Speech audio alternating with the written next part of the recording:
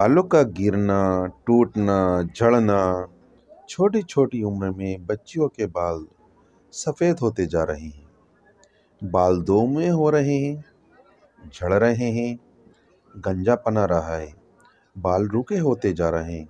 कंगी करो तो कंगी भर कर बाल नीचे आ जाते हैं, यानी भर भर कर कंगी आ जाती है। आज मैं आपको एक बहुत बढ़िया आयुर्वेदिक नुस्खा बताने जा रहा हूँ। आप इस नुस्खे को इस्तेमाल करके सभी तरह की बालों की समस्या से छुटकारा पा सकते हैं। आप हमारी इस औषधि को अगर अपने बालों पर लगाएँगे तो आपके बालों में जो केमिकली प्रभाव है, उससे आपके बाल मुक्त हो जाएँगे और आपके बालों में प्राकृतिक चमक, कालापन आना शुरू हो जाएगा। आपके बाल झड़ने बंद हो जाएँगे, गंजेपन की समस्या दूर हो जाएगी और तो और आपके बाल इतनी तेज़ रफ्तार से बढ़ेंगे कि आप देखते के देखते रह जाएँगे।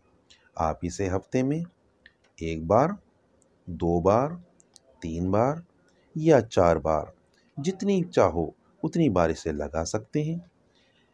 आंवला, रीठा, शिकाकाई, इन तीनों को बराबर मात्रा में ले लीजिए। और तीनों को पीसकर पाउडर बना लीजिए। लीजिए बालों की दवा तैयार है। इस पाउडर के तीन चम्मच लीजिए और इस पाउडर के तीन चम्मच में दस चम्मच दही मिला लीजिए। इसको अच्छी तरह से मिलाकर पेस्ट बना लीजिए। इस पेस्ट को इस तरह से बालों में लगाइए, जिस तरह से आप अपने बालों में मेहंदी को लगाते हैं। इस पेस्ट को आधा घंटा बालों पर लगा रहने दीजिए।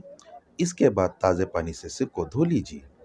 अगर आप इस औषधि का इस्तेमाल अपने बालों में रेगुलर करेंगे तो आपके बालों में तरह तरह के शैम्पू से या तेज़ खुशबू वाले तेल से जो नुकसान हुए हैं, आपके बाल सफ़ेद हुए हैं या आपके बाल झड़ रहे हैं या आपके दो मुआ बाल हो रहे हैं, वे बहुत तो इससे जो इसका इन्फेक्शन है इसका जो प्रभाव है, केमिकल का, वो आपका ख़त्म हो जाएगा और बालों में चमक वापस आ जाएगी। बाल झड़ना बंद हो जाएँगे। दो मुँह बाल ख़त्म होने लगेंगे। बाल मोटे होने लगेंगे। बाल घने हो जाएँगे। आपके बालों में मजबूती आ जाएगी और आपकी चोटी मोटी होने लगेगी। बालों की स्ट्रेंथ वापस आ जाएगी। सो so फ्रेंड्स आपको हमारी ये वीडियो कैसी लगी?